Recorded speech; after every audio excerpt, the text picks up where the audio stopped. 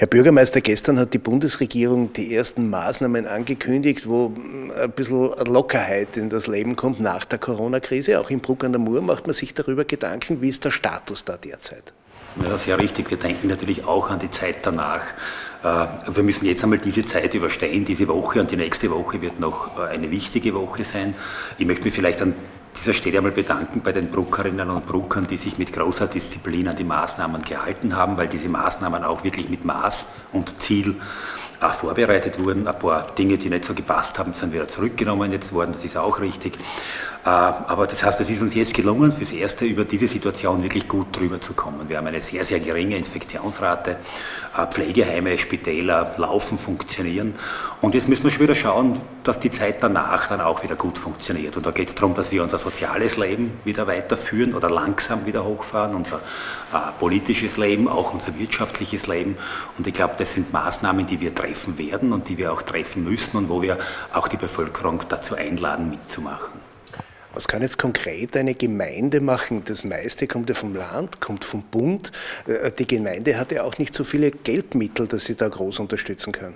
Naja, das ist, Sie sprechen da richtiges Thema an und ich glaube, da muss jetzt auch ein, eine, ein neues Paket auch für die Gemeinden erfolgen. Ich glaube, wir haben in drei Bereichen noch nachzurüsten. Das, der eine Bereich ist, äh, ich mache mir Sorgen, wie geht wie es unseren kleinen, kleinen Unternehmen, unseren kleinen Firmen, die ja dieses Kolorit der Stadt, das Leben der Stadt ausmachen, wie kommen die über die Krise drüber, Familienbetriebe, die oft über Generationen schon bei uns sind. Das, das Zweite ist äh, das Arbeitslosengeld. Wir haben eine unglaubliche Anzahl von Arbeitslosen.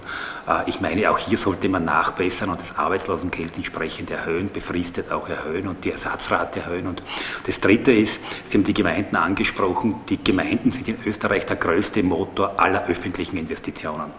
Äh, auch jetzt sieht man dort, wo die Gemeinde gut funktioniert, wo die Öffentlichkeit, die öffentliche Hand gut arbeitet, dort läuft das Leben so gut als möglich weiter, weil alles funktioniert. Und ich bitte darum und appelliere ernsthaft daran, auch an die Regierung, die Gemeinden hier intensiv zu unterstützen. Wir werden Einnahmenentgänge haben, auch durch die wirtschaftliche Schwierigkeit, die sich im Millionenbereich bewegen und da müssen Gemeinden unterstützt werden. Jetzt glaube ich, ist es Zeit, sich auch von Maastricht zu verabschieden. Das sind auch die richtigen Schritte gesetzt werden. Und wir werden dann auch bald wieder investieren und werden auch bald wieder den Wirtschaftskreislauf in Schwung bringen müssen. Es gibt Prognosen aus der Wirtschaft, die sagen, es wird drei Jahre oder gar vier Jahre dauern, bis wir wieder zu richtiger Normalität zurückkommen. Wie schätzen Sie das ein? Die Normalität wird es in dieser Art und Weise, glaube ich, wie sie vor dieser Situation war, nicht mehr geben oder nicht mehr so schnell geben. Ich glaube, dass diese Situation ist, die sehr einschneidend ist, nicht nur für uns äh, in Bruck oder in Österreich, sondern die auch global eine einschneidende Situation ist. Und die Frage ist, werden wir nach der Krise vielleicht ein bisschen anders leben als vor der Krise und können wir einiges von dem, was wir jetzt merken, was wichtig ist im Zusammenleben, welche Berufsgruppen wichtig sind, äh, wie wichtig uns persönlicher Kontakt ist, aufeinander aufpassen, dass wir so früh als möglich davon auch in die Zeit nach der Krise ein bisschen mitnehmen und vielleicht ein bisschen weniger auf das schauen, wie schnell können wir Profite maximieren. Also ich glaube, es könnte der Beginn eines Umdenkens sein und äh, hoffe, dass das auch so, äh, äh, dass, ich hoffe, dass, das, dass der auch so passiert, dieser Umbruch. Jetzt ist ja das in ferner Zukunft, jetzt schauen wir mal in die nächsten Wochen hinein.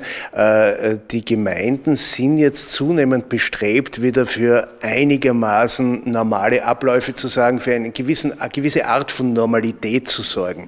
Was macht Bruck in diese Richtung? Ich möchte vielleicht einmal was sagen, das ist etwas, was man vielleicht gar nicht so bemerkt, aber äh, die, die, die, die, die Müllbesor äh, Müllentsorgung funktioniert, es kommt sauberes Wasser aus, äh, unseren, unseren Wasserhähnen, es funktioniert der öffentliche Verkehr, soweit er halt jetzt funktionieren kann, aus eingeschränkten Maßnahmen. Wir bereiten, wir haben Schulen und Kindergärten vorbereitet, die Verwaltung funktioniert wunderbar. Das heißt, in Wirklichkeit passiert ganz wenig sichtbar, was das Leben der Bruckerinnen und Brucker äh, ganz, ganz schwer machen würde. Und das zeichnet eine gute Verwaltung aus. Und das ist vielleicht auch etwas, was man an dieser Stelle sagen muss, dass so diese, diese Fragen, die sich immer gestellt haben nach dem starken Staat, nach dem ausufernden Gesundheitssystem, nach dem ausufernden Sozialsystem, vielleicht ist es jetzt ein positives Moment, dass wir uns, äh, dass wir eine gute Verwaltung uns bewahrt haben und dass der öffentliche Sektor weiter funktioniert.